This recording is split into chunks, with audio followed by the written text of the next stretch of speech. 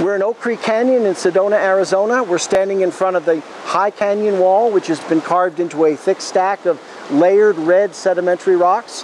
Uh, as we've talked about before, these rocks are primarily sandstones and mudstones with a few lenses of conglomerate, which is a rock made of pebbles cemented together.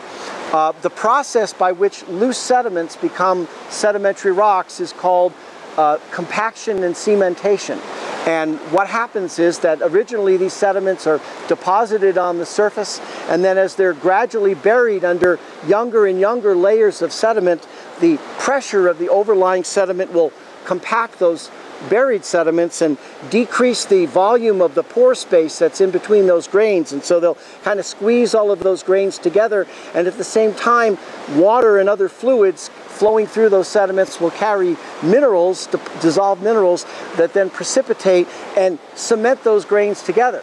And so a bed of loose sand or loose mud through time will eventually become compressed to a much thinner volume, compacted, so a lot of the pore space between the grains is lost, and then the grains are cemented together by natural mineral cements to form a solid sedimentary rock. And that process is called compaction and cementation.